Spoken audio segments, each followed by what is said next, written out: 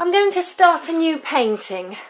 I've got this lovely photograph of a tawny owl and I'm going to put it on this 12 inch square piece of board. Now I've photocopied it because I don't want it this big. So I reduced the size and I still think that's a bit big so I reduced it a bit more and I'm quite happy with that. But just to be sure I reduced it again and I feel that's a wee bit small.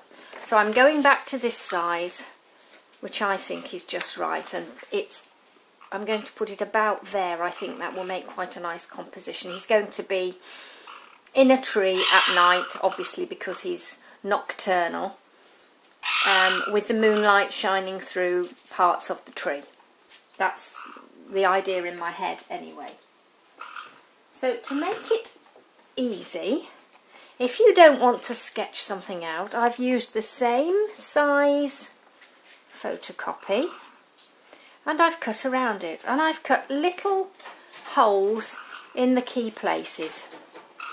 So I'm going to pop him, I don't think I'll have him dead straight. I'll have him looking like that, I think. That's about where I want him. I've put some Blu Tack on the back just so it holds it down.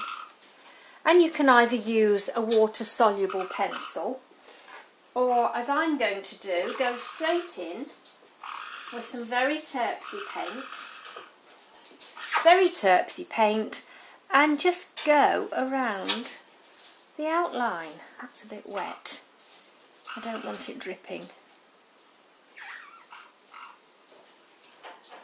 And this will give me enough of an idea of exactly where he is, or she of course.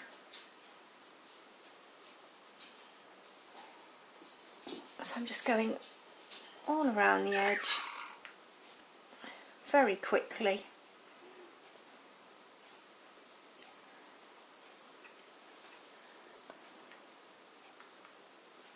Sorry, you might have just heard my African grey talking then. Yes, he's saying come in very quietly. Yes, nose. I'm painting a picture, look. Yes.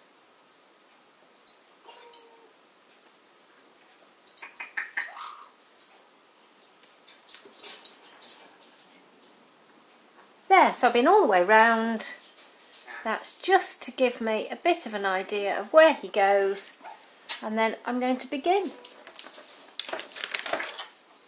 Yes, that's fine. I know where his shape is now. And my idea is to have him on a branch that's in the foreground. I better have it um,